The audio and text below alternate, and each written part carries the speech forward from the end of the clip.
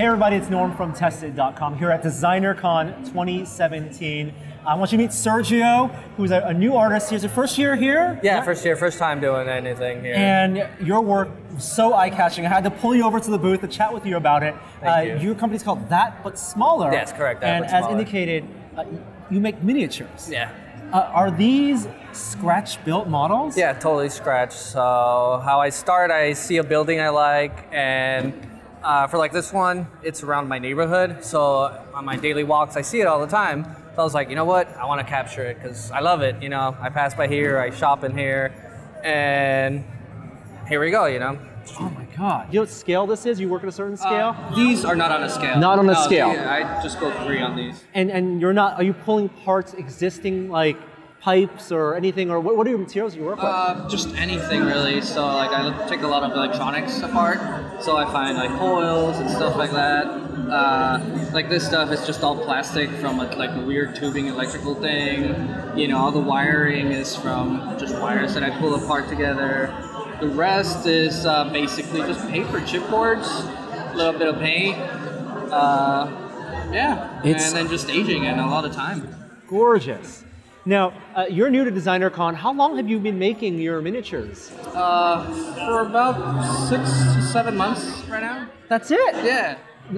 You were doing miniatures beforehand, right? No, never. I never worked on any like smaller scale or. What, what were you doing before you were making these? Uh, before all this, I was actually an elevator engineer. I used to build elevators and high rises and commercial and residential. So and you quit that so quit that. to be an artist. yeah, I just you know like the pay was really well. The hours were amazing 'cause I was doing you know 14, 15 hours uh, shifts a day. So I was just like I can't do it. Yeah. Stressing out. It's tiring. So I told uh, my girlfriend I was like you know what I'm done. I can't. I'm quitting. And so I quit. I was unemployed for like three, four months, just being a bum. You know, like what am I gonna do next? You know, why did I quit? Yeah. and then I I was dry. I always like doodle and stuff like that. So I was like, oh, like, let me search schools because I never went to school. So around my neighborhood, there's uh, the AI, and I was like, oh, that's really cool. And they have a program called Set Design, an exhibit. Of course. Yeah, So I okay. was like, okay, so I can see me building sets. You know, like that's something else. You know, I had background in uh, construction, so I can Yeah.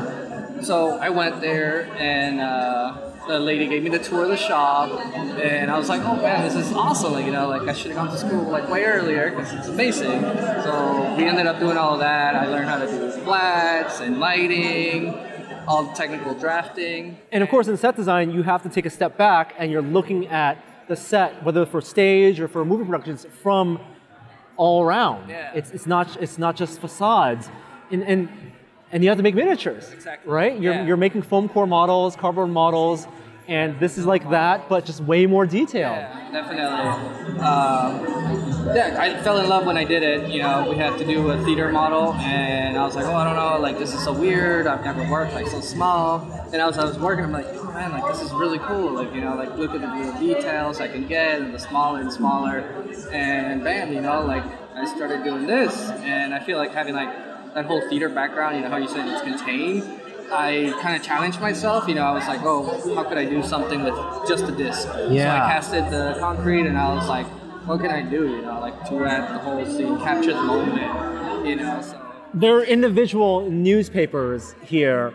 How, how, how are those uh, made? Are, are you I print all the newspapers, okay. so like I take everything to Photoshop. I change, you know, what I want. I can make it say anything. And you're making individual things and you're stacking it, you're binding it, and you're weathering it so it looks like Like, so- like it's been there for like a couple of days because Oh. Ah. somebody forgot that, wow. know, to put them in. That's so much detail. Do you find yourself always wanting to pack more and more detail into your, your to, like, space? draw back because you're like, oh, oh, you could add a, like a little pipe here or more trash. Or a hinge, Yeah, or a handle, you or, know, like, or a sticker. So much more detail. Yeah. And like when I talk to my girlfriend, I'm like, you know, like part of the art is I want to show where we live. Because, you know, we walk down the street every day, but we don't see the things. You know, you see like this, but you don't notice it. Yeah. You look at it, but you don't notice it. So I want people to like notice that their city is beautiful, even though it's dirty. It's just, you know, grimy. Yeah, yeah, But yeah. It's every day. It's our everyday thing. Does it change how you look at your environment when you're walking around? Totally. Like picking out that would be a great miniature, but then you're studying all the angles and Definitely, yeah, because I drive down through like a lot of industrial places, so going through like trash cans is amazing. yeah. You know, because you find so many random things, or the uh, it's been like dented, hit really hard. So you know, you gotta look at all the small details and be like, okay, so this piece has a story. One day, you know, it was just standing there and it got totally ran by a truck, but it's still standing. You know, like just capture that moment. And is it photo reference you take or sketches or how, how do you how do you get really, you know, like I take a lot of pictures and then like I just reference back. I'm like, oh, like that was a cool scene. Like let's combine it with something else. Very cool. Well, Sergio, thank you so much for sharing with me your works and good luck. They're, they're so wonderful. Uh, you have a website where people can check these out? Uh, yeah, just at uh, thatbutsmaller.com. awesome. yeah. And I hope you have a great designer con and many more designer cons to come. Thank you so much for having me. It's a Pleasure to meet you.